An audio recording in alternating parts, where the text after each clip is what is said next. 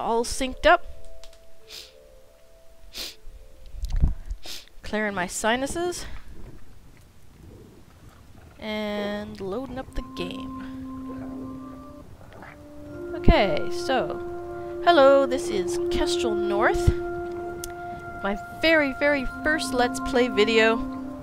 One of hopefully many. And today, I am Let's Playing Creativerse. This is not a new world. This is an old world and I've been playing with my young daughter. This is this is a autumn leafy that I've tamed. You can see he's got a little little dooley. Well, he's sleeping now. Fine. He had a little dooley thing there on um, just underneath his chin, which uh, denotes that he's been tamed. So here we are. This is Creativerse. It is a voxel-based sandbox game. Sandbox survival slash game. Very, very reminiscent of, obviously, Minecraft. But there are a few key differences. What are those key differences? Well, I have no idea. Let's let's find out together, shall we? Here's one key difference. I can jump two blocks instead of one. Here's another key difference. My character does not automatically go up one block steps I have to jump. That's actually kind of annoying. It's fine. Another big difference is that I do not have a pickaxe, or any axe, for that matter. What I have on my wrist, oh, you could see it, uh, you could see it right there, is called a mining cell. This is a stone mining cell. And this is what you use to interact with the with with blocks. Sort of like a vacuum it's actually kind of cool. So, what does this mean? Well, what it means is that instead of carrying around a pickaxe, a axe, a shovel, and whatever else the hell you normally would carry around in Minecraft, all you really need is this one diggy dig apparatus. Another big difference um, in Creativerse as opposed to Minecraft is uh, Creativerse has a definite source, definite, not source, definite, um, a definite progression. So here's a little, a little mine I dug. Or inhaled, I suppose you could say. So, in Minecraft, for example, you could conceivably craft yourself a stone pickaxe. Hell, I think you could actually just craft yourself a wood pickaxe. And you could basically trout you could basically dig your way down to the center of the Minecraft world, all the way down to bedrock. You wouldn't be able to gather a lot of the, the um, things you'd find along the way, but you could conceivably do it. Now, in Creativerse, you can't do that. You're going to hit a spot right here. See where the thing is red? You're going to hit a spot where you can no longer progress. I can't dig through this anymore. I need to make the next version of my power cell. I can't even really dig down to here uh, with the with the uh, with the power cell that you get when you first start the game. See? So you uh, so you definitely have to create, you definitely have to continuously build newer and more powerful power cells if you want to get farther into the world. Which is an interesting, it's an interesting theory. Also, another interesting thing is that uh, torches actually cost a fair bit create. So you can't just create like a hundred, a stack of a hundred, and go littering, littering your your mine with it. And there are more powerful, uh, there are more powerful torches that you can get. These are all, these are the least powerful, so you can see it takes a lot of them to light something up, and it doesn't do a very good job. You can make coal and what else is there? Uh, here they are. So you start off with moss, then you go up to coal. Uh, then you go up to wood burning lamps, which is actually a really stupid name for them because they burn coal. I never noticed that. Alright, never mind. A couple, couple of different colored lamps if you you want to... God, I don't even know what the point of these are, but whatever. And then you have gas lamps, which again burn coal. So, fine. And then you have architect torches, which burn architect arc stones. Blah, blah, blah. So yeah, and the only weapon you have is a sword. So, uh, oh, what version are we running here? We are ver running version, we are running, um, sorry, release 23. And as of this release, many of the things that I find to be I found to be extremely easy to make, like swords, are now a heck of a lot more difficult. Now you actually have to kill a number of creatures in order to build these swords. So the wooden one is fairly simple, it only takes wooden vine.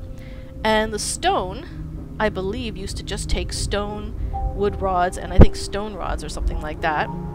Now they actually take these rockster rock things which you can only get by hunting and or taming and harvesting your pets.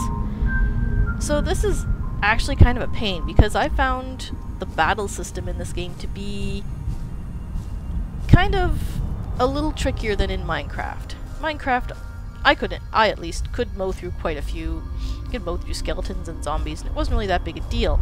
But a lot of the creatures in this game seem to have, seem to do have, they have quite a lot of damage. And um, you can make armor, but armor again is not a heck is not really easy to get. Ooh, I need these. These red flowers are used for making uh, power cells. Sorry, mining cells.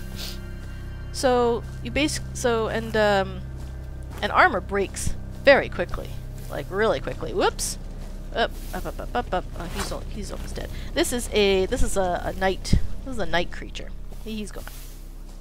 And we'll see those um, we might even not see those. It's not going to be that long of a video, I'm hoping. Anyway. So yeah. Go. Let's grab some mushrooms. Yeah, you grab anything with this power cell. So those are some of the differences. These are the guys that you would get the rock, the rock things from. And uh, they pack a bit of a punch. They're they're uh, they're harmless though unless you attack them. There are a couple of mobs out here that will attack without provocation. So the daytime can be a bit dangerous. Some of these guys uh, pack quite the punch. Woo! Whee! The control system is a little bit muddy and soupy and squishy. Uh, um, it's been, uh, I've read a few things on forums and people don't really like it. It's not tight. Uh, they've improved it. I didn't notice an improvement. They said they improved it. I haven't noticed a huge improvement, but once you start playing the game, you get used to it real fast. I mean, I don't think I've really died that many times. I've fallen off a few things because I wasn't being careful or I was moving a little too fast. But, um, I don't think it's ever actually killed me. Oh, look at this guy, an Autumn Leafy. He's all red. The mobs in this game are adorable and at the same time incredibly creepy. Look at this. Look at this guy's eye. I can see into your soul. Ugh, creepy. So this is, I think this is the beginning, this is autumn wood. This is the beginning of an autumn. There we go. Over here, there's a different biome. It's an autumn biome. Whee! Woo! I love doing that. Alright. So, there's a few game there's a few things about this game that I prefer over Minecraft. Really. One thing is the teleport. When you start this game, you get a home teleporting pad. All you do is you press T, and there is my home, and I can teleport there from anywhere in the world at any time I want, and there is no cooldown. This is immensely useful for me in games like this. With uh, games without a minimap, where I I get lost, I can get lost very easily when I'm just wandering around enjoying the sights the sun starts to set, and oh my gosh, I've forgotten the way home. Or I've completely forgotten where my base is, and I never find it again. This has happened to me before. So, being able to teleport home at any time, or if you're really deep in a dungeon, it's absolutely, it's so cool. Not only that, but you can have your friends teleport to your home base too. So if you have a friend join you on your on your game, in your game world, all you have to do is open up your tele your home teleport and they can teleport right to your place. You can start playing together right away, which is great fun. That brings me to another thing that I absolutely love about this game, and that is the ability to join to multiplay. Now, I'm probably quite alone in this, but my husband and I have not been able to play Minecraft together. Either I don't know what it is. We're in the same house. We're only a floor apart, and yet our computers refuse to sync and play together. Somebody, one of us will have terrible lag, and the other person will be like, what? I don't have any lag, I don't know what your problem is. So, it's just, it's really, really difficult. And it's a game that I've always wanted to play with my husband or my family. Woo! I never get tired of that. Sorry, I'm sure you guys move very quickly, so I gotta stop now. Anyway, so, but in this game, all the worlds are server side. So that's both good and bad. That's good because it's extremely easy for people to join your world. Anybody can join your world. Now that's quite literally. Anybody could join this world if they knew what the world was called. Um, I password protected this world because it's just for me and my young daughter. But if you don't password protect your world, literally, once someone finds the name, anyone can join. But that means that, unlike with Minecraft, you don't have to pay for a server, you don't have to, you know, fiddle around with IP addresses, you don't have to do any of that. Just pick the world, get the password or not, and go. It's fantastic. Whee! Another thing that I love about this game are the trees. Now, I can't remember, because I, I admit it's been a little while since I played Vanilla Minecraft, but I don't think Vanilla Minecraft has huge redwood trees. Um, I believe that was a mod that I added that had where um, when I had these gigantic trees. In Creativerse, um, these trees are everywhere, and some of them can get to absolute just huge proportions. So again, good and bad. It's fantastic to look at. But if you're hoping to clear a forest for land, or you know, any other type of reason, you're gonna have a hard time. These trees can take days and days to properly get rid of all the way from, like, you know, from the top up. Yeah, you can see here that I'm having just a little bit of trouble climbing this tree. Excuse me, the controls are just a bit, and I'm also getting a wee bit of lag. Excuse me. Lag has not been a big deal for me, but every now and then I'll get um, I'll get a bit, I'll get a block that refuses, that doesn't disappear until, you know, a few seconds after I've obviously gathered it. Um, oops! Uh-oh. Oh! That was my fault. Oh well. You can see it didn't kill me. Whatever doesn't kill me makes me stronger. yeah, so yeah, the control scheme, the controls definitely take a little getting used to. They are soupy and squishy and squashy. So it's definitely going to feel like you're a wee bit... There is a, um, there's a crouch button, just like Minecraft. So, oops, sorry about that. Okay. Um, it was just my email. Uh, there's a crouch button, which is C, and you can walk. See, I'm trying to walk farther. You can't. I can't leave this particular.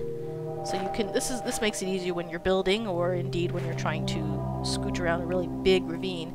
But it's a button press. I haven't looked into the settings yet, so I don't know if you. Because I found the shift in Minecraft, or I can't remember what I what I used to hold. But the hold hold press would be much much better. But it's a it's a key press. Fine.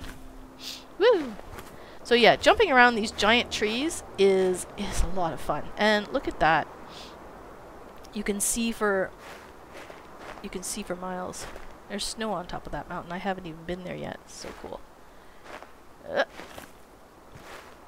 Yeah, you can jump a lot higher than you can in Minecraft, and it makes it really does make walking up on the trees kind of kind of exciting. Look, there's mountains over there. I have not been there yet. And there's forest over there. So far I have seen... There's... Whoops. Oh, that's my fault. Uh. Right, hang on. There we go.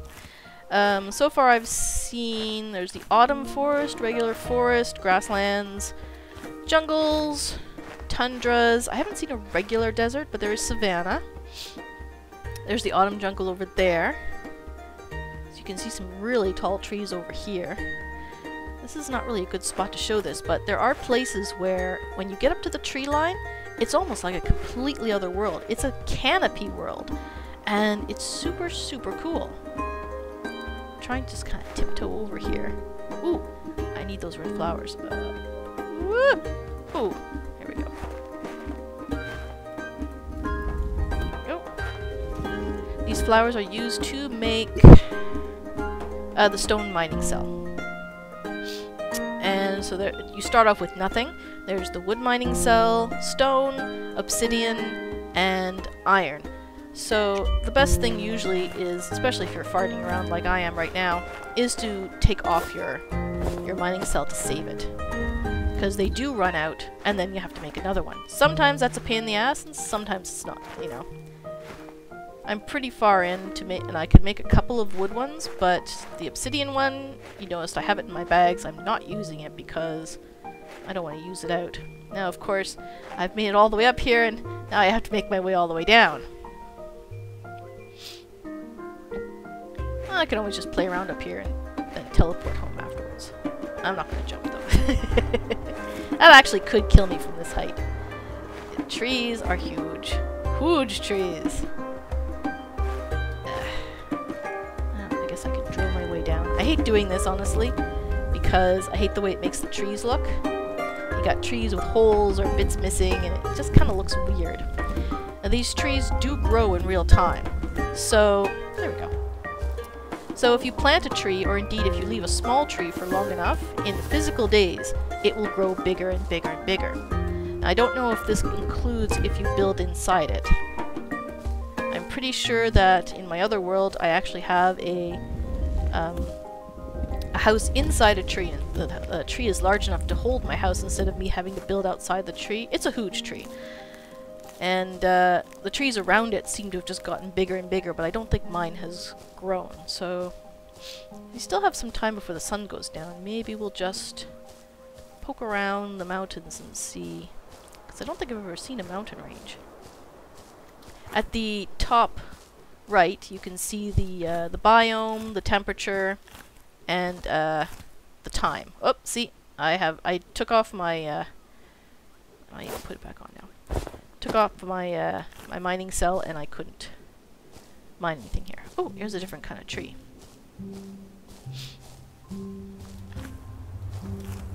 Yep. Ooh, pine cones. R sorry, rhyme cones. I'm so sorry. Rhyme cones is what I meant to say.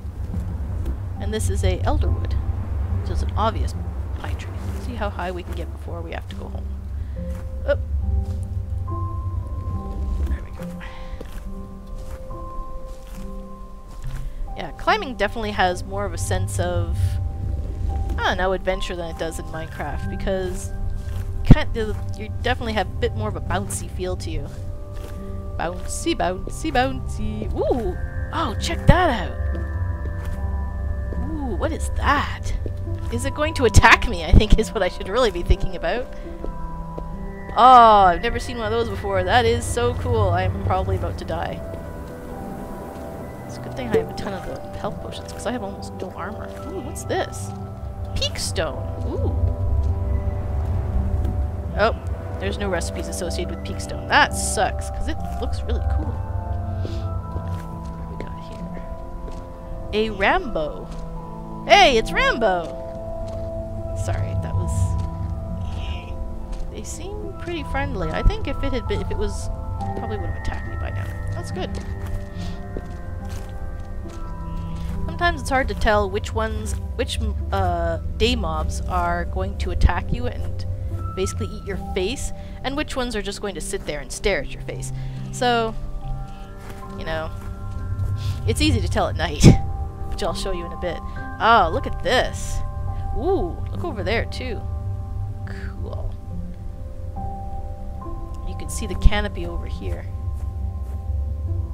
Just awesome. Oh, you can, and down in the in the bottom left there, you can see my uh, temperature meter, which is uh, just teeny tiny bit. I haven't seen that in gameplay much myself, probably because I haven't really been to any of the Arctic regions. I think the heat temperature definitely goes up once you hit once you hit lower uh, lower uh, underground tiers, where you're going to encounter lava and stuff. It is getting dark. That's a cave. It's up here. That's just regular stone. Yeah, it's definitely getting dark, so we're gonna teleport home. I love the teleporting sequence. so cool. Alright. And I will show you the little house that uh, my daughter and I have made.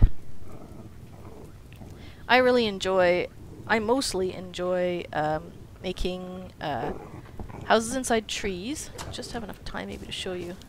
Maybe in the morning. Well, maybe in another video. Because I don't want to. The night creatures, unlike in Minecraft, where you could probably have your door open and zombies might just, you know, mill about a little bit. In this game, if you give these critters a chance, they will just swarm in and eat you. Eat your face. So yeah. Whoops! Might help if I closed all the doors. There.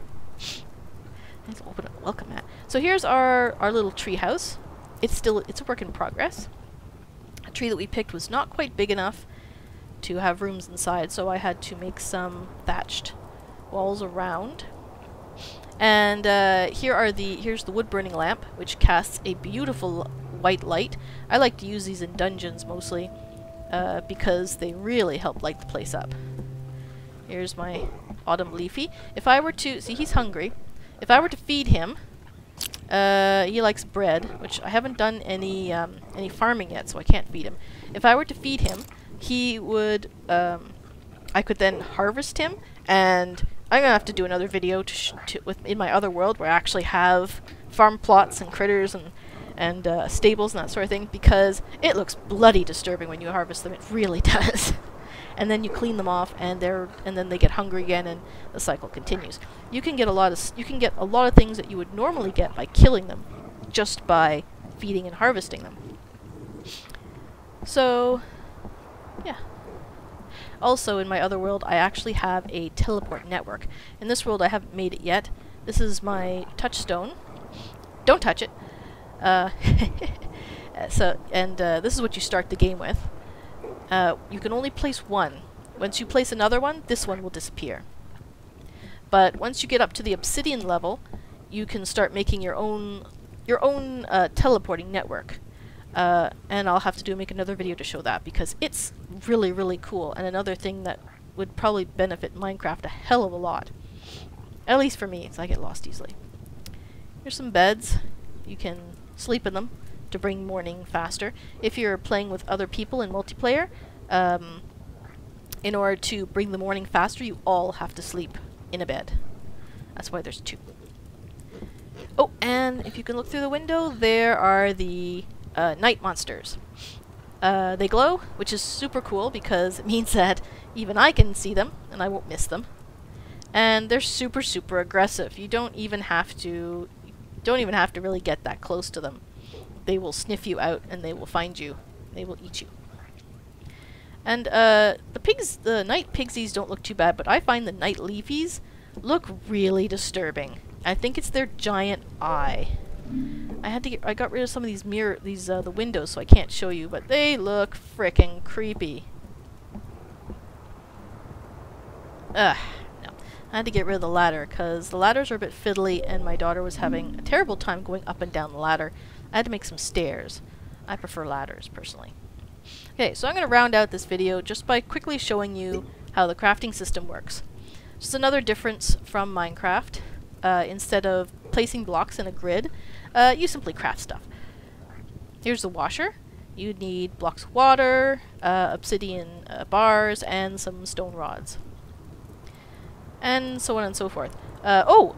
Here is how you get ores with an extractor. Maybe I'll show that next video. Uh, the lamps, there's potions, armor, explosives, which are, excuse me, they're fun. Here's the decor. There's a lot of decor. And the way you unlock more decor is by building decor. That is cool. However, I'm not a huge fan of it because some of the stuff, like say stairs and uh, I don't know, just other things, I might not necessarily want to make. So there's this bungalow wall which takes wildwood. You get this wall by harvesting wildwood. Gotta find a tree, gotta harvest wildwood, so on and so forth. The thing is that if you want, say, the bungalow roof, which looks pretty cool, but you don't necessarily want the wall. You still have to make this wall before you can get the roof. And once you make the wall, you're stuck with the wall. You know, you could delete it, but you've got all these, that's kind of a waste of all these materials that you've used to craft it. Not a big deal, but some of this stuff it is. And uh, there's some of the stuff like this obsidian brick wall that might unlock more different kinds of walls. But I'm not in the position to make it because I don't have a heck of a lot of obsidian yet. So I have to wait. And again, if I make it and I decide I don't want to use it, I've only got eight. You know, what am I going to use it for? There's no way to reclaim at least some of these materials, which would be kind of nice. Then you've got chests, doors, fences, windows. Uh, I like the windows. I have I have a bit of a problem with the windows because um, from the inside they seem to be kind of backwards, and it's kind of it's a little hard to explain, but because um, I don't have the materials on me to make them. But once you put them in, it's very frosted from the inside. But once you go outside and look into the house, it's very clear. And I haven't been able to figure out if that's just me and my ineptitude and I can't seem to figure out how to place them properly, or if it's actually like that, which is kind of counterintuitive. You wouldn't want people looking in as easily as you can look out, but whatever. Okay, so this is my intro, quick intro to Creativerse. Uh, I hope you enjoyed it. One more thing, if you're thinking of purchasing this game, it costs, uh, it's on Steam, and uh, I'm in Canada, so it, it was it, uh, was me. It was about 20 bucks Canadian for me. But when it is, it's on, it's in uh, early access right now, but when it is officially released, it will be free to play. So what that means is they're going to have to find a way to make money beyond, you know what I mean, right? Free to play games. Um, there's there's there is a shop. Oh, you know what? I think I have to quit to get into it. Do I? I think I do. Yes, I do. All right. Well, I was gonna. Let's go. Let's go. Oh no, sorry. Here's the store right here. So here, here's what they're thinking of doing right now. They're going to have a store. These are blueprints, which you can you can purchase, you put down, and then you have to supply the blocks to fill them with. There's some pretty cool stuff here. I, I think this is actually a really good idea. And then over here they have recipes for blocks that you can't gain through through playing the game. Again, I think this is a really great idea, and I would totally um, I would totally want to support them by buying these things because you don't want them going with any, you know, something that would inhibit your gameplay. They might also consider uh, charging you to, to create your own worlds or create servers, so that's another thing to keep in mind. Okay, uh, this has been my Ramblin' Creativerse video. I hope you enjoyed it, and um, we will uh, hopefully see you next time. Bye bye!